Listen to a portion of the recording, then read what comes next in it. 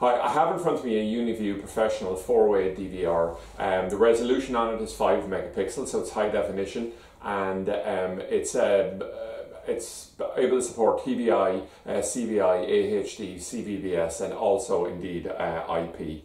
So it can mimic a, a, an NVR to that extent. So let's just look at exactly what we get here. Uh, so this is the outer box that comes in. We have uh, the DVR itself here. Uh, we'll look at it more detail in a minute. It also comes with this uh, mouse here, our actual power unit, and we have these SATA cables here as well, which will allow us to add on an internal hard drive up to four terabytes. So if we put a four terabyte hard drive with this, uh, you're looking at recording time of up to about 18 days or so. Okay.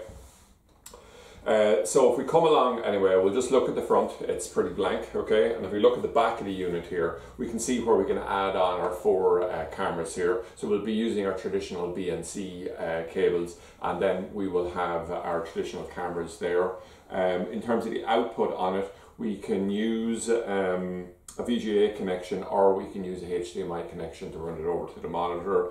Uh, this is our LAN connection here. We can add on uh, USB for upgrading software, extracting recordings, and this is where the actual power unit plugs in directly there uh, itself. So a unit like this is able to support um, PTZs, um, it can just support a whole array of cameras there as well.